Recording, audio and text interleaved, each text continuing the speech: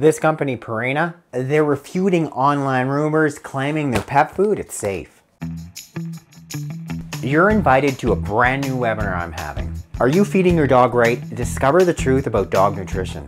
It's happening Tuesday, January 23rd at 5 p.m. Pacific.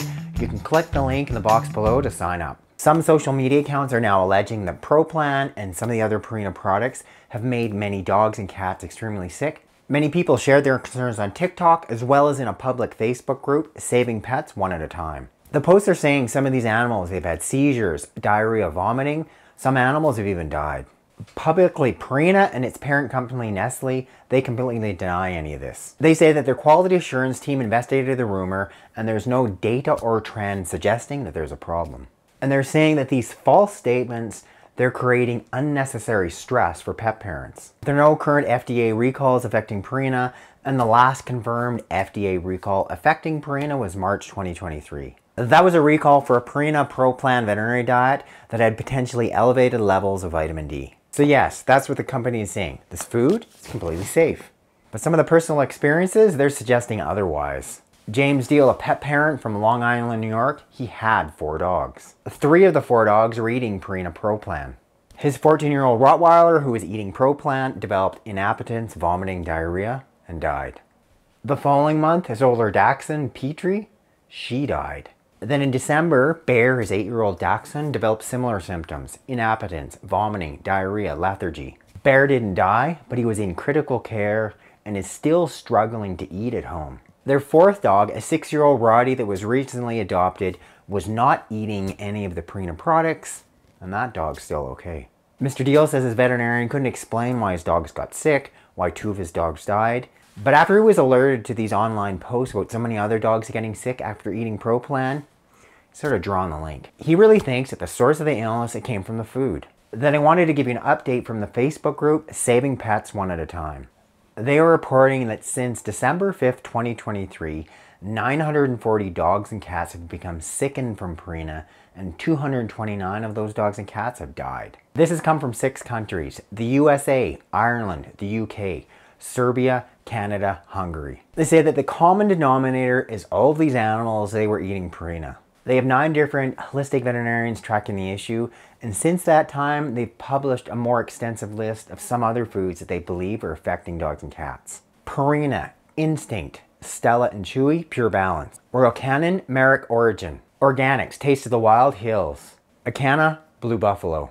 They say that many of the pet food manufacturers, they're getting their vitamin and mineral premixes from the same suppliers. So if one food is affected, other foods can be affected. Their first suggestion is if you or you know of someone who is feeding some of the Purina foods or some of the other foods listed on the list, then you should stop feeding those foods. Don't wait until your dog develops clinical signs and gets seriously ill. Some of the symptoms they say to watch out for. Lethargy, vomiting, diarrhea, muscle weakness, and seizures. Rapid weight loss, excessive urination, rectal bleeding. Vomiting blood, yellow around the eyes, other signs suggesting there is icterus or jaundice from an animal that has liver disease. First thing then you're seeing your veterinarian if any signs prop up. Blood work, IV fluids, treating the underlying health disorders, i.e. treating the seizures. Stop feeding this stuff immediately. They suggest saving this pet food and do not release it to Purina under any circumstance. Report it to the FDA. I'll put a link in the description box to how you can do that. And then their fifth suggestion is that you contact the pet food manufacturer. They're suggesting if they're asking for a sample of food, just send them a small sample, but keep the rest.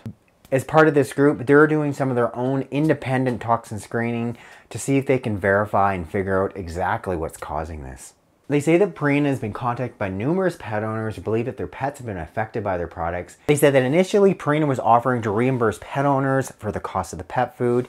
Then they were offering $10 coupons. And it's true, many of these pet food companies, they do share many common suppliers, especially for the vitamin mineral premixes. There's been toxicities in the past in the vitamin mineral premixes, and obviously they can't test every batch of food. So after seeing all that, well, what do you do?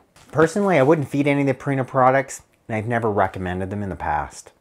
When you have this number of people reporting on their animals becoming sick after eating a specific food, it does seem more than coincidence. I know my dog has been eating one of the foods that they posted in that list. It's Acana, so I'm going to be switching her diet. And as we learn more about this, I'll definitely keep you updated so whatever you're feeding your dog or cat is safe and it's not going to harm them.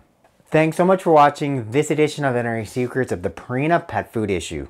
You're invited to a brand new webinar I'm having. Are you feeding your dog right? Discover the truth about dog nutrition. You're going to learn about what is the best dog food to feed now, specific meal toppers to improve the quality of your dog's nutrition, plus DIY dog care, Dr. Jones's best home remedies for dogs. It's happening Tuesday, January 23rd at 5 p.m. Pacific. You can click the link in the box below to sign up.